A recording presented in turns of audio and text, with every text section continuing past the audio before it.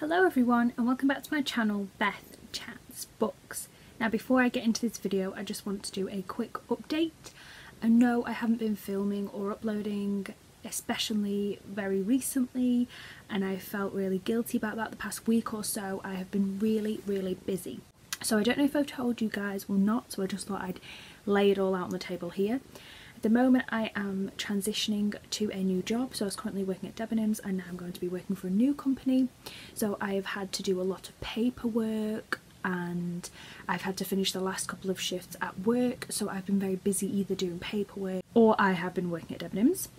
And then second of all, I have currently been car browsing so this new job is a little bit of a drive away and it's a bit of an upgrade pay wise because I'll be permanently working instead of at Debenhams I was temporary part-time so this is going to allow me to get a car so I passed a few months back which I told you all about so at the moment I've been in the process of any spare moment searching for car deals, going to dealerships, having a bit of a, a look and a bit of a test drive of cars.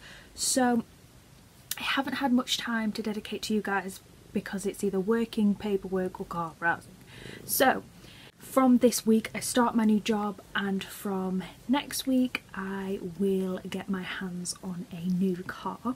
So I will be putting that on my Instagram so you can take a nosy about that but other than that I just wanted to let you guys know that's why I've been a little bit busy but I'm back to normal. So obviously starting this permanent job I am going to have to fiddle around with utilise my weekends to bulk film and then distributing them through the week but we'll see how that goes. So this particular video I thought I would do a July favourites because the last couple of months I was really bad at doing favourites and I want to get this out the way before I do my Q&A because that will be quite lengthy and I wanted just a quick intro back with you guys and get a bit used to filming something that's not going to be as long to edit. So this is my July favourites. So the first things I want to talk about are some events that have happened in July. Now as I've previously just mentioned, July is when I was offered this new job.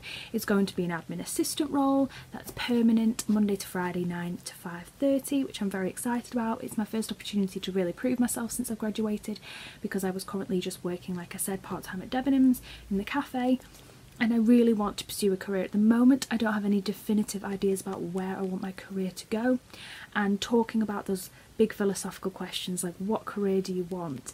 To me at the moment and in the past year has been very claustrophobic and intimidating. I know I have a lot of potential to give, I know I want to do something very fulfilling.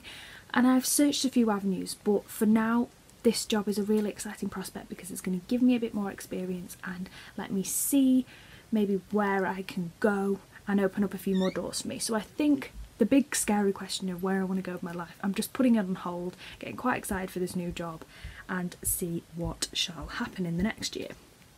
So that was a big highlight for me. Another nice highlight was I hosted a barbecue at my house this month. I had friends I haven't seen in a long time came and it was really nice. We had sangria and my boyfriend just prepped all the burgers because I don't eat meat so I had him prep burgers for everyone and we had salad and loads of bits and it was really nice to have a bit of a chat and kind of catch up before everyone went away on holiday and so later this month we're meeting up again so it was, it's really nice to me because I haven't seen them in a while and I was a little bit anxious about keeping the relationship going and whether that would happen now I'm back and so I'm really happy that it that it is working and, and we are having a great time together so that was a big kind of highlight for me this month. And then also a really big highlight was doing the live Instagram with Anthony Andrews this month. That was on the 28th at 6pm British summertime. I was so happy I did that. Anthony was so welcoming and I really did feel like although I was very anxious and awkward about doing it live, that it came across as genuine, that we weren't kind of talking over each other, that there wasn't this awkward tension. He made me feel completely at ease. So thank you so much, Anthony, for inviting me onto your live, for two, allowing me to participate in your book club that month, and three, for being such a gent and making me feel so welcome and comfortable. And I would definitely love to do a live with you again in the future. And thank you so much to everyone who watched that live. It was a bit nerve wracking seeing a lot of my friends as well pop on as well as booktubers and book friends so it is intimidating but I'm so glad I did it and it's kind of got me on the bandwagon to do live videos so hopefully I can do some live videos with this channel very soon. And the last thing I wanted to mention is my brother's graduation. He graduated this month. He went to Liverpool Hope and he did a politics and history degree and he came out with a 2-1. So I was a very proud big sister. There's only a year and nine days between me and my brother, but I always feel like an older sister to him. He's got an older sister than me, who's four years older, but it was just really nice to share that day with him, parts of my family, so that was very, very good. So all in all, I had a very exciting and flourishing month. And then for TV, I want to talk to you about. So briefly, I will talk my way through these. So the first one I want to talk about is Doctor Who. So my boyfriend is a Doctor Who fan and we have slowly over the past month gone back and rewatched all the Doctor Who. So we started with Rose Tyler and Chris Eccleston, I believe is his name, and then we went through David Tennant and Catherine Tate, and then we're now on I've forgotten his name. The one after David Tennant. And we prefer the David Tennant time period, I guess, if we've got to pick a Time Lord. And my personal favourite sidekick is Rose Tyler, so I find it quite sad that she's no longer around and you know he's replaced her but you know that's such is the way but um, he loves them very much and I'm a bit hit and miss you know we watch them in the evenings before we go to bed and it's something that we've just allowed ourselves to watch but I know there's a massive amount of Doctor Who fans and so many people are really excited for the new series where there's going to be a female Doctor. So I thought I'd just let you guys know that we're catching up so that we can hopefully get to the female Doctor by the time it comes out. There's that one. And then obviously just a little reference to Love Island. I know people are a bit annoyed by how much Love Island is everywhere, but obviously the final was this month and the end of it. So we watched it, we were obsessed with it last year, but this year it didn't really have that same wow factor. I think the problem is with these ideas is they can only run on a train for so long and then they run out of steam.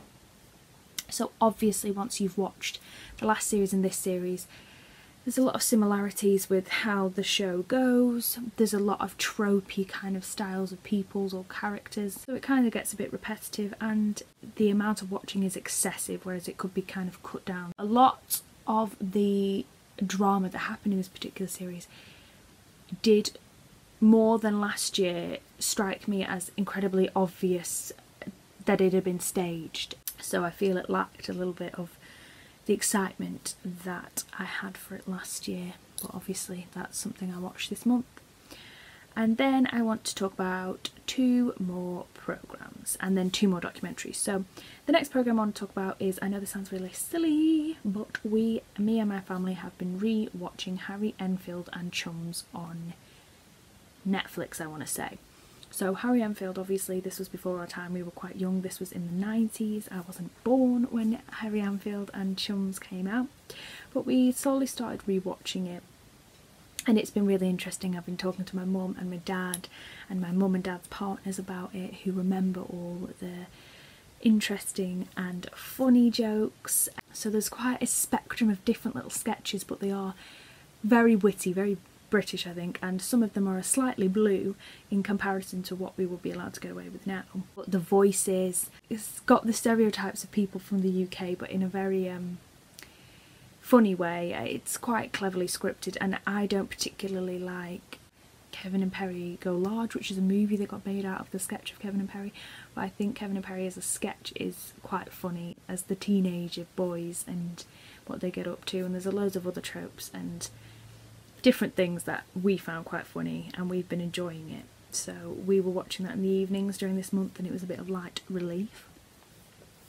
Then the last programme I want to talk about is Glow, which is the Gorgeous Ladies of Wrestling that was on Netflix. We have currently watched two series, so it's all a bit up in the air whether there's going to be a third, but we're praying that there will be a third. It is very, very funny. So it's about the beginning of kind of female wrestling and how there's a lot of sexism. It starts in the 80s, there's a lot of sexism, people think it's just pornography, and all the kind of inner politics of the girls. So there seems to be a bit of, I don't want to give any drama away, that there's already a bit of tension. Two people already know each other, and their relationship currently is not in the best place and then they both get contracted to be the ladies of wrestling and so we see their relationship throughout the series. And then there's a whole host of other characters and they all become a trope a caricature a kind of set figure.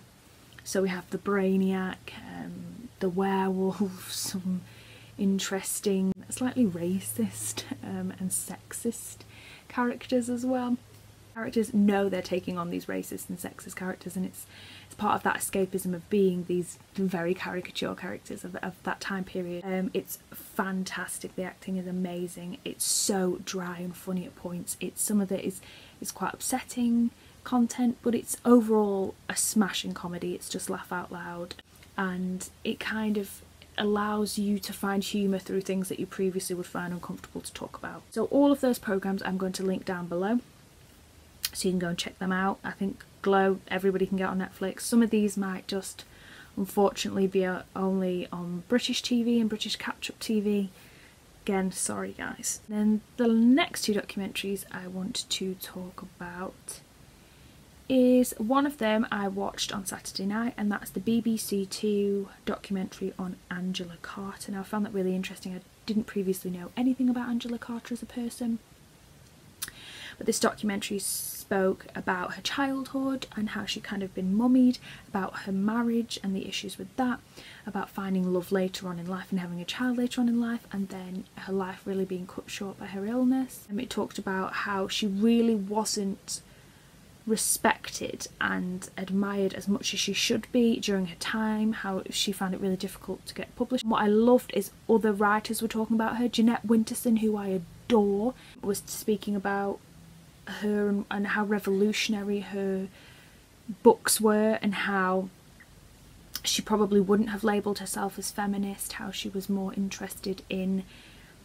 trying to say that women are allowed to empower their body, but obviously at the time they weren't really portrayed as that. And then they had Margaret Atwood talking about a similar experience she'd had with her books being rejected by publishers until Virago, I believe, came into fruition. And I found that really, really interesting because Margaret Atwood, Jeanette Winterson are both people I really respect and admire as writers and as people and and as women so it was just a really empowering documentary I really enjoyed it so it's encouraged me to start reading The Bloody Chamber on audiobook so I am fascinated to know more about her. And the second kind of documentary series that I watched there is a man I've forgotten his name and he's on Radio 4 I believe. And he's a really famous film critic. And he likes critiquing all the recent films. And he has a podcast I believe as well. And he did a really interesting documentary. I don't know how many people would find it interesting but I'll, I'll find it and I'll link it down below.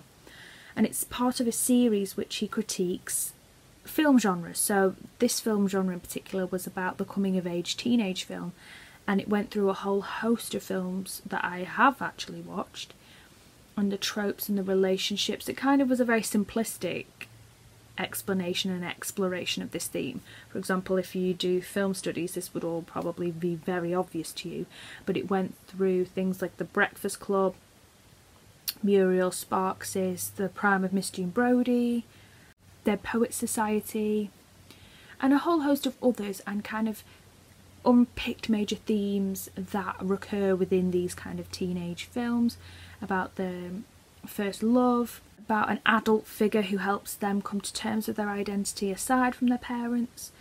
The fact that a lot of teenage movies now allow the parents to have a backstory and a complexity between the relationship between them and their children. So loads of different things, but I actually found it really interesting to watch. Really interesting for me to make parallels between films that were quite old and, and more recent ones. So I just thought I would pop that in there because I did enjoy that. So that is everything for my July favourites. I didn't really get much podcast listening done and I didn't do any more exciting things than that. So that is it. Thank you guys so much for watching. I'll be back very soon with a brand new video. Please hit the subscribe button if you want to be alerted for when any of my future videos come out. And I'll see you very soon. Bye now.